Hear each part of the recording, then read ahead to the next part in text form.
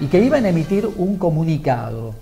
Lo vamos a leer al comunicado. Dice, mediante el siguiente comunicado, los representantes de las asociaciones sindicales abajo firmantes, que son SICOP, CTA Autónoma y ATE, manifestamos nuestra profunda preocupación frente a la situación que, vive, que se vive en la unidad de terapia intensiva de Liga Abraham Piñeiro de Junín.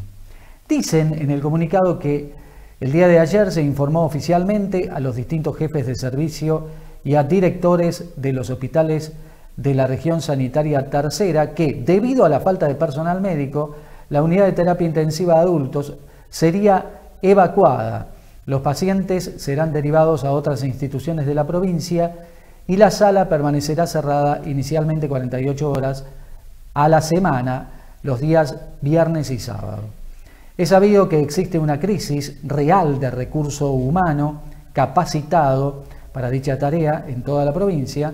Es por eso que en reiteradas oportunidades manifestamos a la dirección ejecutiva nuestra preocupación. No obstante, a pesar de ello, no se tomó ninguna medida que evite este anunciado colapso.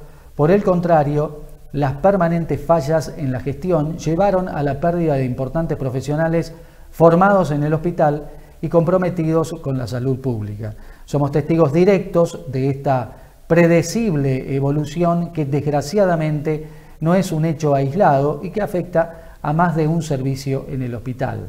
No podemos dejar de remarcar que es el servicio de terapia intensiva del IGA Junín quien sostiene pacientes críticos que ingresan a nuestra institución desde la ciudad, como así aquellos que son derivados desde distintos municipios y nombran a todos los municipios. Por la extensa gravedad que la situación desde nuestro lugar como dirigentes de las organizaciones sindicales que representan a los trabajadores y trabajadoras del IGA Abraham Piñeiro, en pos de garantizar el derecho a la salud de la comunidad, emitimos el presente comunicado para alertar a la población y a la opinión pública de la presente situación, a la vez que manifestamos a las autoridades ministeriales correspondientes que se deben arbitrar de manera urgente los medios necesarios para resolver la crisis en curso con una real solución y no así planteando los ya conocidos parches transitorios.